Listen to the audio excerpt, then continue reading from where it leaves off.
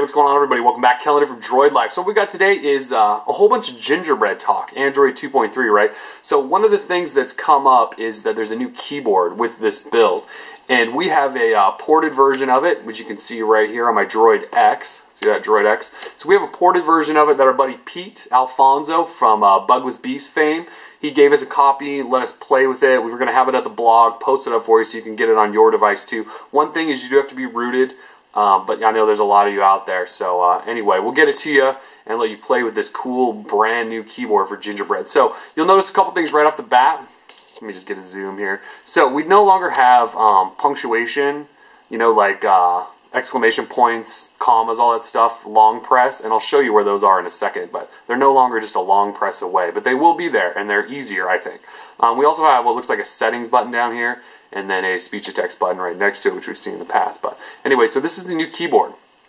It's got sort of an orange feel. You can see the letters are more spaced out and all that stuff. So anyway, let me show you. So if we go ahead and start typing, so you, actually you can see right away. I typed in there to type a, I clicked in there to type a message, and right away we get uh, you know all of our commas, exclamations, question marks, all that stuff. We even have a smiley face button down here. Too. But you can see all I did was start typing and it brought that up. So that's there for your sort of quick reference rather than having to long press on stuff. Definitely enjoying that so far. So if we start typing, say this, and then space is awesome. Awesome.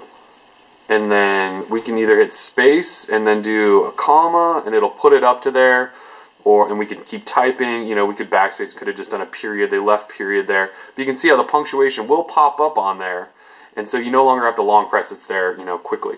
Um, the other cool thing is, and I'm pretty sure this is new, speech to text down here. So when we press this, rather than popping up that window on top of our actual screen saying, you know, start talking now, it actually just replaces your keyboard and you just talk, you know, right there, and then it pops up, you know, your speech. So I'll show you. This is awesome. Did you see that? Okay, so I'll show you that without actually speaking this time. But you can see it picked it up perfectly. Um, but if I hit that again, see that it just kind of replaces on there rather than where it used to pop up that window up there. And let's actually see if it pulls up this really long sentence that I just said.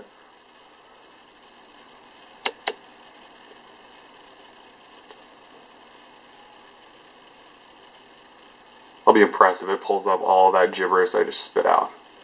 Actually, I'm just going to go ahead and cancel that. So anyway, so you can see it works well. It just replaces on there. You've got these new sort of, you know, you know, all your, your symbols and all that stuff up there.